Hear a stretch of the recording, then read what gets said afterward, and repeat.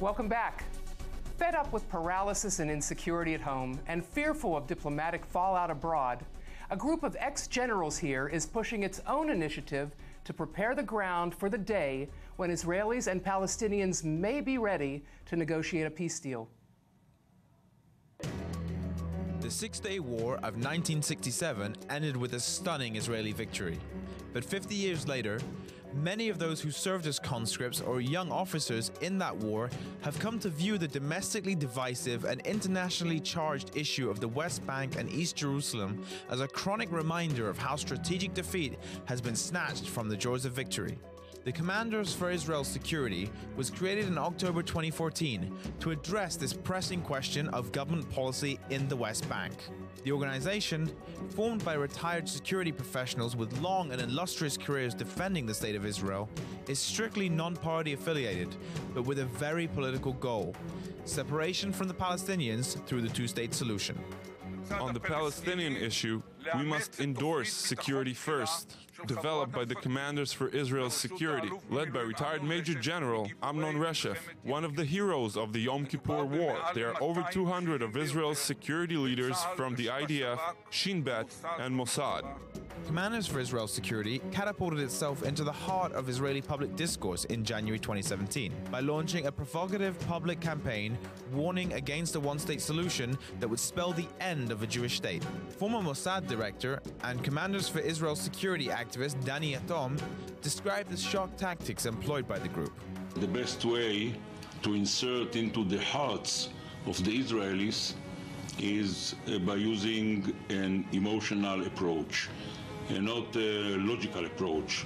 So this is an emotional approach. It looked at the beginning as if the Palestinians put the billboards all over the state of Israel, and it is written in Arabic that uh, very soon we, the Palestinians, will be the majority. The Commanders for Israel's Security, chaired by retired Major General Amnon Reshef, promoting the two state solution through the message of separation and security. Retired Major General Amnon Reshef is chairman of Commanders for Israel Security. He's an Israeli hero who led the 14th Armored Brigade in one of the bloodiest battles of the 73 war, when, outnumbered by nearly five to one, he and his men stubbornly fought under Arik Sharon to turn the tide of the Sinai campaign. Rolly Gueron is also the equivalent of a retired major general, a former division chief of Israel's Mossad. He's a member of the CIS Executive Steering Committee. And they join us here in the studio. Gentlemen, thanks for showing up at Strictly Security. It's, Thanks for having us. Thank you. So, Amnon, it seems that you are as stubborn in promoting this campaign as you were in the, at the Chinese farm. Uh, outnumbered, public opinion is running against you. Nevertheless, um, uh, you are focusing on separation, not annexation, which implies that there's no hope at this point for a deal for the foreseeable future. Uh, in our basic original vision, we think that there is only one real solution in our region, and it is the two-state solution. As things are not right right now, we came with an intermediate plan called Security First, which cover various areas, which is security measures, civil economic measures, and political statements. And it's a very comprehensive plan. Right now, in our recent campaign, we are focusing on the issue of separation as a part of our vision. Now, before we get to details of your plan, it was interesting that you were attacked by uh, the left for this campaign of yours with the Arabic signs uh, for uh, some racist or um, uh, undertones. In the very beginning, we were attacked by some leftists who didn't get appropriate the, the message appropriately. Mm-hmm. But but mind you, we got some several telephone calls from Israeli Arabs and some other who say it's brilliant because for over 20 years we approach the Israeli public in a very logical, intellectual way. And we gave, came to the conclusion that it doesn't approach the public. We, therefore, we came. Fear mongering works in Israel. Yeah. And, but we came with a kind of emotional approach in, or, in order to shake the Israeli people and let them better get a better understanding about the situation and, and what might be in the future. Now, Rolly, you make uh, clear that this is not a peace plan, this is a rescue plan. So, can you tell us about this holistic approach that you're advocating? Uh, that emphasizes Israeli security first? Yeah, I will try to explain. And uh, I will, with your permission, slightly deviate from the original question, okay? Okay. If you don't mind, okay. Uh, I did label this plan as a security plan. It is not another peace plan. It is nor uh, a salvation plan for the Middle East or the Palestinian-Israeli conflict. Definitely not. Uh, we came out with this plan uh, following what I call a very constructive dialogue with reality. Okay.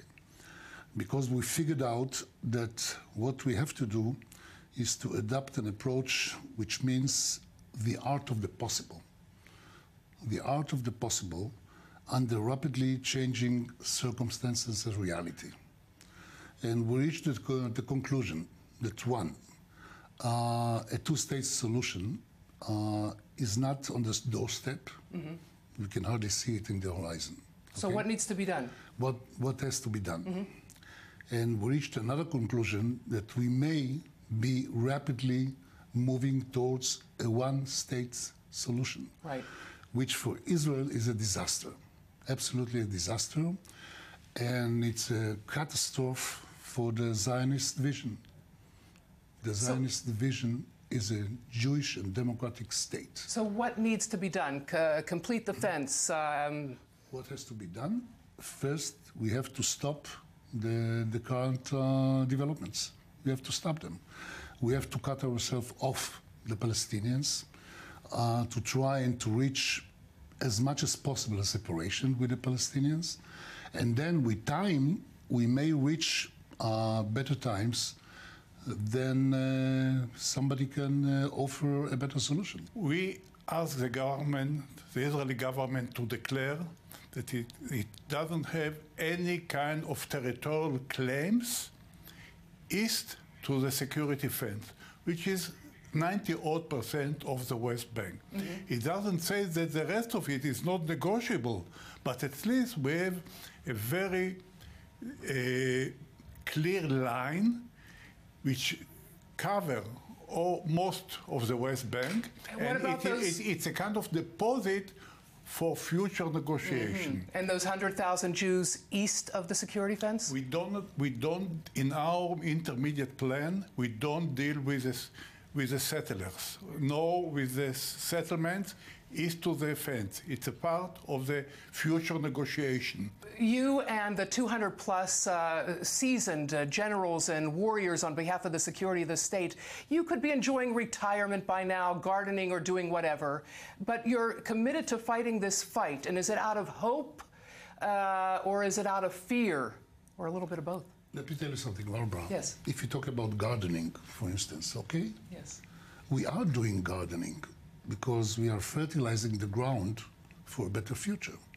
Okay, so what we do on a daily basis, we fertilize the ground for a better future. So it's a long procedure. This is true. However, we hope it will succeed. Absolutely. So this is gardening. That's wonderful. And Amnon, uh, uh, you were in Washington recently briefing policymakers. Uh, what's the response, and why should Israel care, uh, Israelis care what they think in Washington? Uh, the, re- the response was, was very positive. Uh, no question that our main uh, target audience is the Israeli public, but still we need some support outside as well. We wish you a lot of success in this campaign, Thank you. and we would like to hear um, updates as things progress. Thank you very much. And thank you for, so much much, for joining us. Thank you. Rolly Gueron and Amnon Reshef.